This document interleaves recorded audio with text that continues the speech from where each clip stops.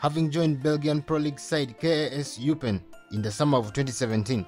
Accra-born Ghanaian goalkeeper Abdul Manaf Nurudeen is struggling to have a markful establishment in Belgium. This comes after having made three appearances, seven goals conceded, and no clean sheets. The Black Stars goalkeeper has further surfaced in only a quarter of the starting 11 and minutes percentage rate, but with a friendly up against Brazil and Nicaragua, the young goalkeeper will hope for more trust and favour as he aims to make his mark with the Ghana Black Stars. Having joined South African side Orlando Pirates in the summer of 2020, Ghanaian goalkeeper Richard Antwi Ofori is having a good season in the PSL with 8 appearances, 3 goals conceded and 5 clean sheets. He has further been booked twice, but with all the starting 11 and minutes percentage in his favour,